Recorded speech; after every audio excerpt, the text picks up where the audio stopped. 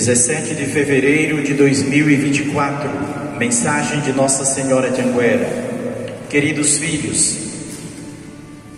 não recueis, meu Jesus está convosco e a nada deveis temer.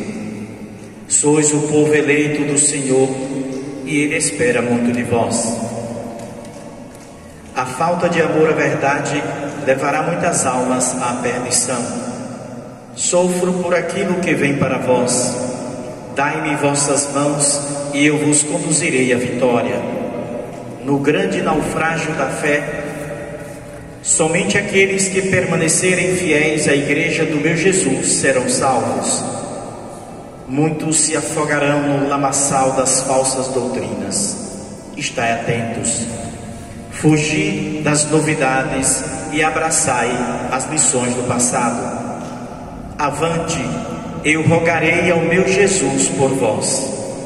Esta é a mensagem que hoje vos transmito em nome da Santíssima Trindade. Obrigada por me terdes permitido reunir-vos aqui por mais uma vez. Eu vos abençoo em nome do Pai, do Filho e do Espírito Santo. Amém. Ficai em paz.